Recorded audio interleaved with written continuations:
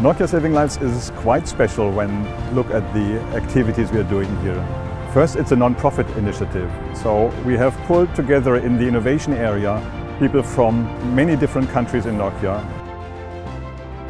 I'm really impressed that commercial companies like Nokia use resources also for these kind of very important non-profit actions. These kind of solutions can be used in natural catastrophe areas and why not in maritime accidents and, and so on. I think the Nokia Saving Lives concept demonstrates that by the fact that you have three different technological components.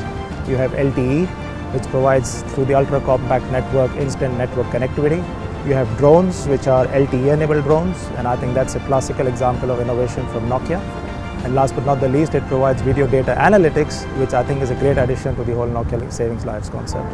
It has a very strong future for a concept like this and especially this one. I mean the search and rescue area is something that we have challenges in uh, to try to get going and I mean if there is a quicker way of identifying people that are in need this would be extremely important.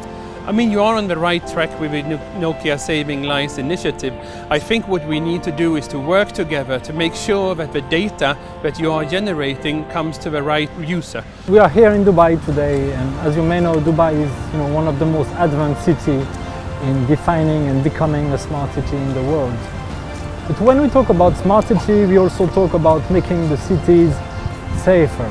And this is where basically the Nokia Saving Lives concept comes into play.